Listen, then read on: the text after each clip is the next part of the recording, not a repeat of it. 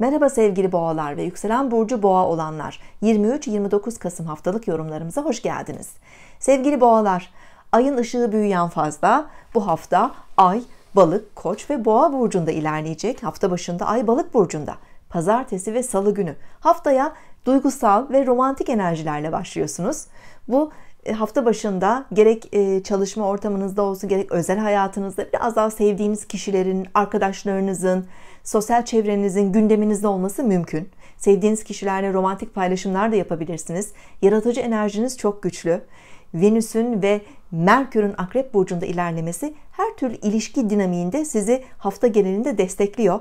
Özellikle pazartesi ve salı belki yakın ilişkilerinizden, eşinizden, partnerinizden e, daha fazla duygusal destekler almanız mümkün görünüyor. İşbirliklerine, birlikte yapılacak faaliyetlere, paylaşımlara da daha yatkınsınız.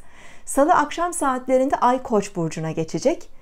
E, biraz içe dönüşler başlayabilir Ay Koç burcuna geçince. Özellikle çarşamba ve perşembe günleri de Ay Koç burcunda günlük hayatınızdaki iş temponuz biraz öne çıkabilir.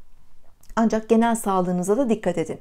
Özellikle çarşamba akşamı Ay Mars'la birleşecek bazı kronik sağlık sorunları, eklem ağrıları, kemik ağrıları, baş ağrıları, migren ağrıları tetiklenebilir.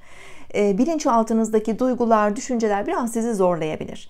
Böyle bir durumda içe yönelişlerde bulunmak, tefekkür etmek, meditasyon yapmak faydalı olabilir sizin adınıza. Perşembe günü iş yoğunluğunuz öne çıkıyor.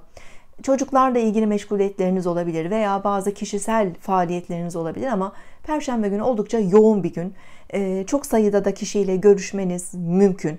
Ee, bu görüşmeleri yaparken de lütfen duygusal baskıları iyi kontrol etmeye çalışın gün genelinde ve yine ruhsal ve bedensel sağlığınıza dikkat edin. Çok yorulduğunuz takdirde dinlenmek için lütfen zaman ayırın.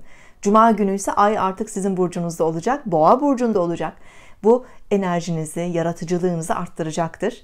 E, ilişkiler alanında da dinamik bir gün aslında Cuma günü hafta sonu da bu şekilde Ay Boğa burcunda olacak.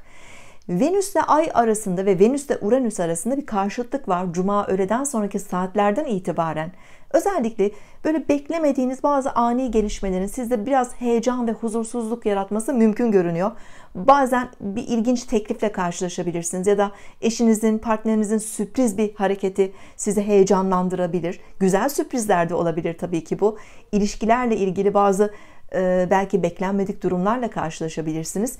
Bunun yanı sıra finans konularına, para konularına, harcamalarınıza e, daha dengeli yaklaşmakta fayda var. Sizin dışınızda gelişebilecek bazı durumlar, piyasalarda olabilecek bazı hareketlerde yine parasal konularda zaman zaman endişe yaratabilir.